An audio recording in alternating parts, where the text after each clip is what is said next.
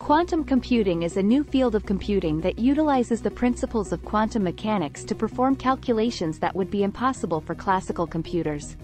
Quantum mechanics is the study of the behavior of particles at the atomic and subatomic level, and it describes how these particles can exist in multiple states simultaneously. In a classical computer, data is represented using binary digits, or bits, which can exist in one of two states, 0 or 1. In contrast, a quantum computer uses quantum bits, or qubits, which can exist in a superposition of states, meaning that they can be both 0 and 1 at the same time.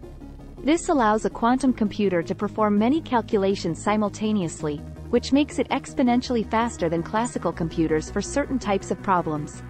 Quantum computing can be used to solve problems in a variety of fields, such as cryptography, finance, and drug discovery. For example, Quantum computers can factor large numbers in polynomial time, which is believed to be impossible for classical computers.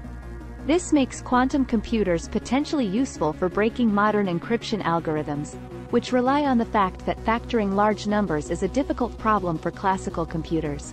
Quantum computers can also be used to simulate complex systems, such as chemical reactions and protein folding, which can be difficult to model using classical computers. This could lead to breakthroughs in drug discovery and materials science. However, there are several challenges associated with quantum computing. One of the major challenges is decoherence, which is the loss of quantum coherence that occurs when qubits interact with their environment. This can cause errors in calculations, which can limit the usefulness of quantum computers. Another challenge is scalability, as quantum computers require a large number of qubits to be useful for solving real-world problems. Currently, quantum computers with more than 100 qubits are not yet widely available, and it is unclear how many qubits will be required to solve practical problems. In summary, quantum computing is a new field of computing that utilizes the principles of quantum mechanics to perform calculations that are impossible for classical computers. While there are still many challenges to overcome, quantum computing has the potential to revolutionize many fields and lead to breakthroughs in science and technology.